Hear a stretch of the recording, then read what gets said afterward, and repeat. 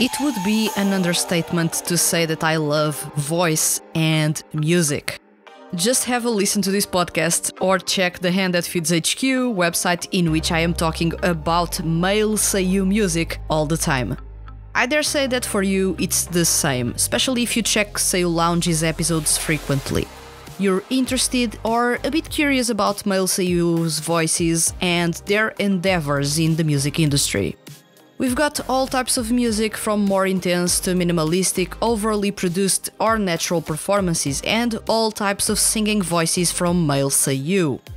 There are many amazing voices out there, and every day, more and more Seiyu join in the industry, flaunting beautiful or powerful voices and awesome technique to boot. But have you stopped for a bit to notice that we seldom have opportunities to enjoy listening to our favorite singers among Seiyu just sing without distractions? That's where a cappella music makes its big entrance. Let's kick off this episode of Seiyu Lounge.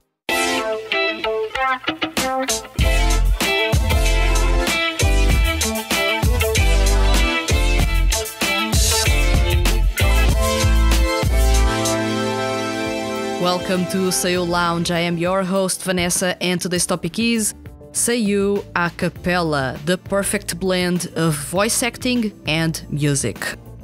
This episode stems from a written feature I published at the Hand That Feeds HQ about the 2D a cappella music project, Aoppella. While writing that feature, I realized that fans of Seiyu artists and 2D music projects rarely have the opportunity to listen to a cappella performances. If, like me, you enjoy listening to the voices of your favorite Seiyu, especially those that have wonderful singing voices, you may wonder how clean their singing is without all that glitter of the studio. I wonder about these almost all the time. After all, I am passionate about voices and talented singers. So prior to Aoppella, there was no other 2D music project embracing a cappella music fans did get glimpses of such performances, for example, in the IDOLiSH7 anime adaptation and even during its live shows, with Takuya Sato's performance at IDOLiSH7's second live reunion standing out. I remember watching that show live, and when Takuya Sato joined the stage for Negai Shine on the Sea, everyone was mesmerized by his a cappella in the intro. The power, the emotion, the delivery, there was nothing like it, and I was in love with it. Everything was perfect and showed not only that Takuya Sato is a technical singer, but also that we should get more opportunities for male Seiyu to showcase their voices as they are, beautiful and raw. In that same year, Yuma Uchida kicked off a trademark of his, performing a cappella intros to his albums, Fans were, yet again, mesmerized at how technical and beautiful a cappella music is through the sound of harmony of waves. And I fell yet again in love with his music and voice. Uchida showed his outstanding talent, performing all three major voice tones within the male voice spectrum, which are the tenor, baritone, and bass, and harmonizing with each other in a R&B fashion. Since then, fans have anticipated these albums due to how stellar those a cappella intros are. Interestingly enough, it wouldn't take long until Aoppella noticed that and decided to enlist Yuma Uchida as the leading tenor for Bad Lip, group that joined the franchise in 2022. But a cappella music is not commonly loved. Some of you may be aware of the highly popular Japanese a cappella group The Gospellers, or of the US based Pentatonix, the most popular group of the genre in the world. But truth is, many of you don't listen to a cappella music as regularly as you do rock, pop, or hip hop, for example. If you do, then I reckon this episode won't have anything new for you to learn. But if you don't, you may have your reasons why you don't listen to a cappella music. Maybe you only listen to popular music, uh, or you just listen to dance music or rock, or you weren't even aware that this music genre existed. Regardless, you will know that even on social media and music streaming websites, a cappella music doesn't stand a chance of standing out because some will say it's not fun, it's not addictive, or doesn't have any instruments, therefore it is a bore to listen to. Despite its high quality, being a music genre that puts so much faith into the natural, unaltered quality of the singing voices, a cappella music still has a long way to go until it becomes popular. And there is still some reluctancy to approach a cappella music. Seiyu artists seldom venture to a cappella music. Rock bands fronted by Seiyu don't even think about it. This may be because a cappella music is highly technical and not all Seiyu artists or even Seiyu bands have the skills to master it. Yes, let's admit this. It is most likely that some of your favorite Seiyu or Seiyu artists are not good singers. I know for sure that there are some Seiyu whose music I enjoy a whole lot, but I would never dub them as good singers. So you got to be realistic about this. Not all Seiyu that are solo artists do it because they are talented at it or even because they like it. They they have their reasons. I talked extensively about this in some of the early episodes of Seiyu Lounge. So it is expected that those Seiyu, completely aware of their weaknesses, will avoid performing a cappella music. Their poor technique or singing skills would be exposed. As such, there are only a handful of Seiyu artists that could pull off a cappella music while sounding great. Some of those are already in the cast of Aoppella, while others I believe it's only a matter of time until they join in. At the same time, a cappella music has a unique vibe that may not fit most Seiyu artists, and most certainly doesn't fit any rock bands. All that is left is for some Seiyu artists to show glimpses of a cappella performances in their music and leave 2D music projects to fully take over the genre. Yet, 2D music projects are also not that fond of a cappella music because it doesn't sell as well as pop or hip hop music does. Those that listen exclusively to music by 2D music projects and Seiyu artists barely get to explore the beauty of this niche music genre. So, with that in mind, I decided to bring you a special episode covering a cappella music. First, about what is the genre, its parts, and then a couple of interesting tidbits. For purposes of this episode, I won't be talking in depth about a cappella. I leave that for the next episode. So, what is a cappella music? It is a special type of group or solo performance without an instrumental accompaniment. A cappella is a style of music performance that puts the spotlight on the quality of the vocals, putting aside any distractions that you usually have behind a voice in pop music or any other music genre. This type of music performance dates back to 2000 BC and is closely connected to church music.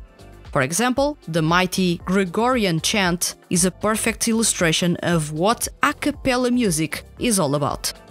A cappella, of course, is not only singing, members of an a cappella group have positions that they fill in to create a harmonious performance, and that includes creating the bass and percussion that serve as the backdrop for the vocals only performance. What are the positions in a cappella music? A cappella groups can be mixed, male voice only or female voice only. Depending on the group configuration, you may have more or less vocal positions. An a cappella group or vocal band traditionally counts with five major voice parts. For female voices, there are the soprano and alto. For male voices, there are the tenors, baritones, and bass singers. Groups can have different setups though. You can mix what are called traditionally male and female voices, have only male or female voices, or you can mix and match members that cover different parts in a cappella music, having multiple tenors or baritones within the same group, for example. But there's more to it. There are percussion parts, and those are made by voice only with a member in charge of replicating the percussion sound only by using beatboxing vocal techniques. Most a cappella arrangements will have a soloist, usually a soprano or a tenor, with exceptional singing ability that can drive the song with belting and power, and a beatboxer who needs to have a lot of talent to pull off a consistent, punchy beat, driving the performance forward. Parts within an a cappella song.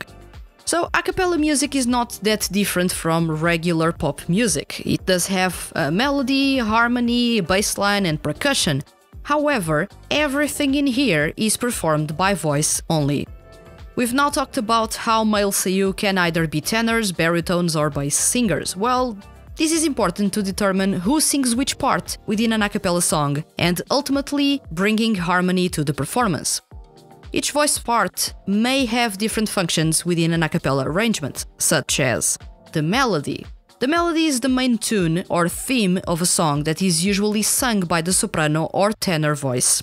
The melody is often the most recognizable and memorable part of a song, and it may vary in pitch, rhythm, and expression. Then you have the harmony.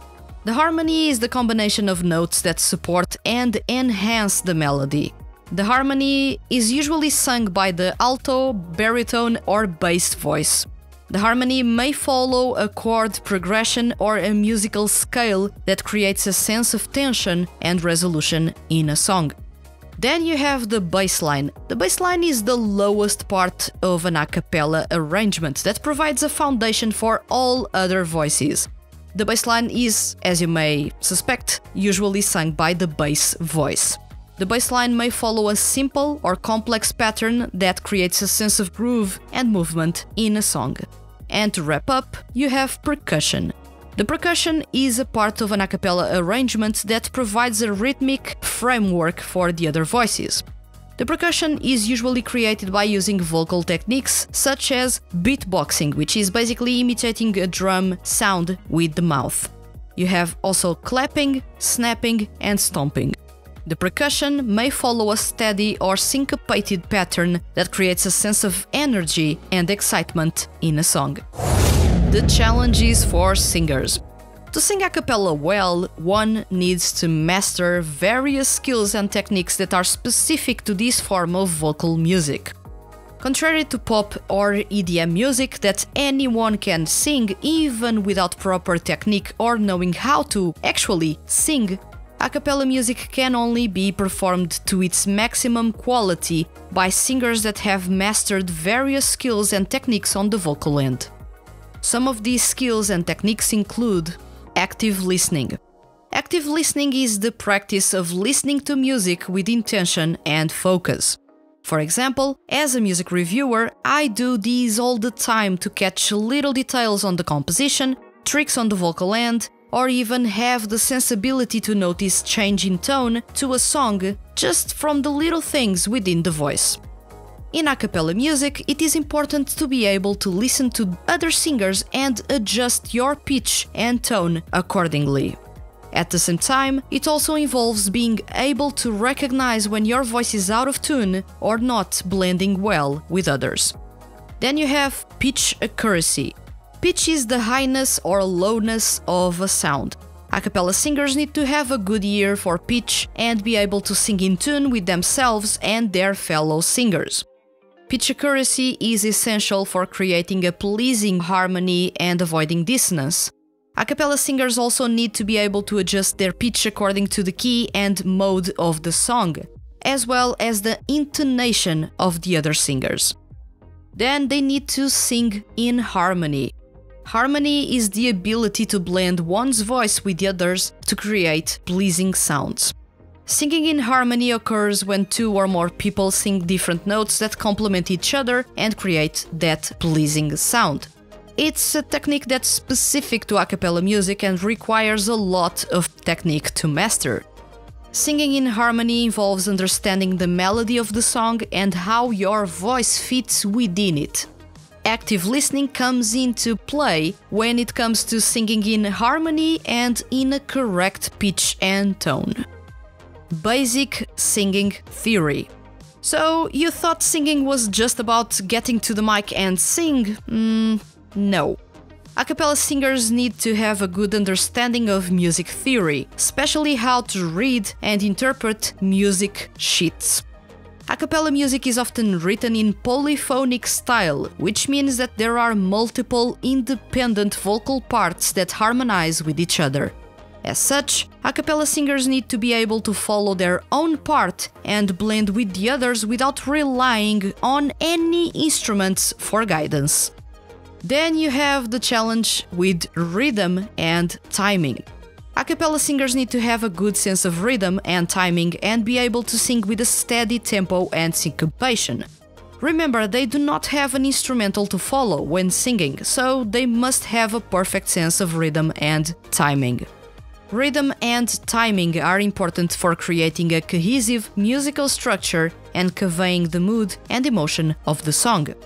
A cappella singers also need to be able to follow the cues and signals of the leader or conductor of the group, who may use gestures, facial expressions, or vocalizations to indicate changes in tempo, dynamics, or style.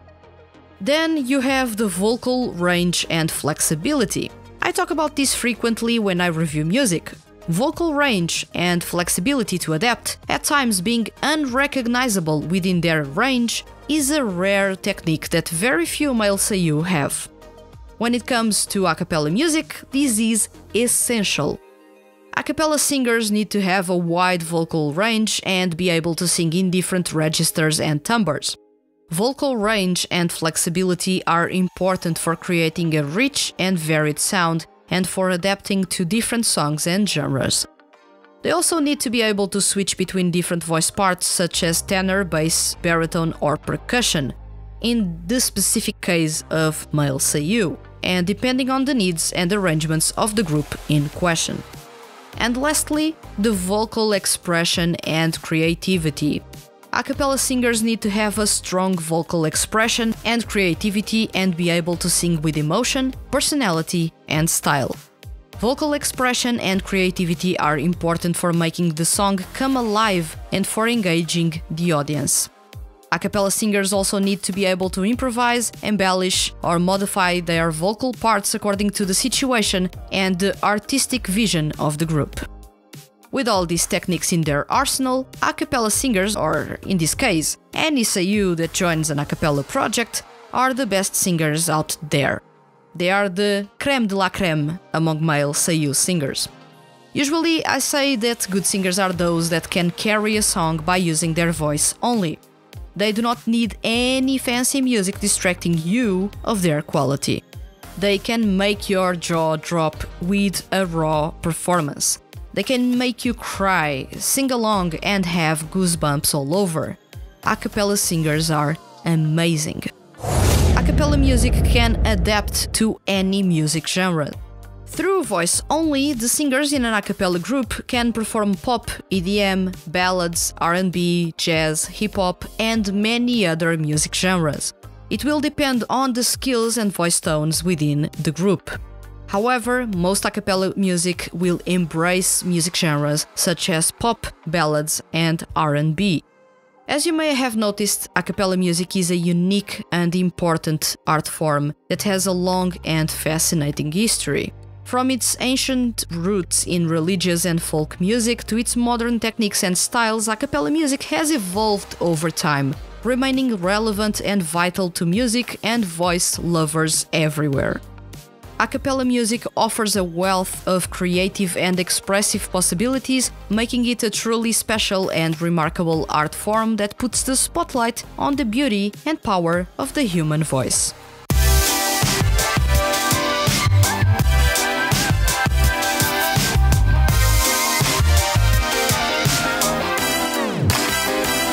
A big reason why you find me week in, week out talking about Seiyuu artists and music it's because I love their voices. And whenever Seiyuu goes all out to deliver a performance that is so powerful, or they tackle something in a completely different style than usual, I'm usually all ears, and my jaw may be dropped in awe as well, and that's with full fledged songs supporting them. Now, when Seiyuu tackle songs by themselves, no support or backing track needed, and they still dazzle me. it's when I believe we see the full potential and talent of those Seiyu as singers. There is no background music in which to lose yourself in, at times completely disregarding the performance that the Seiyu is giving. The focus is solely on the voice. The voice is the instrument. When performing a cappella music, Seiyu are stripped of that comfort that is having a loud backing track that will cover for them, or even having pitching correcting software saving them. A cappella music is tricky to perform, but those Seiyu that pull it off are the ones that, once again, I believe, are confident in their skills and know how to sing. You'll say, but every Seiyu knows how to sing. And I'll do the devil's advocate here and say that while that is true to some extent, at the same time you can't say that every and all Seiyu know how to properly sing. Singing coaches or even people with well trained ears and music sense will notice that there are some Seiyu that do not know how to sing and yet they are, for example, active as solo artists. And that is okay. If it works for them, it works for them. Well, a cappella music can be beautiful and can create dreamy, youthful, and upbeat soundscapes for you to lose yourself in. It is a rich yet simplistic take on music that, in an industry overflowing with overly produced pop and hip hop acts, comes as a refreshing and welcome change of pace. We still have very few Seiyu artists and even fewer 2D music projects embracing a cappella music, but what we do have so far is quite awesome. Now tell me, does the slow resurgence of a cappella music in the Seiyu industry excite you? And which Seiyu would you love to hear performing a cappella music? Let me know in the comments on YouTube. And remember, leave your comments as complex or as simple as they may be, and you can be featured on upcoming episodes of Seiyu Lounge. If you enjoyed this episode and don't want to miss the Hand That Feeds HQ's weekly male Seiyu and music related content, hit the subscribe button. I'll return next week with another episode of Seiyu Lounge, and this time it is about a. Thank you for listening and see you guys around.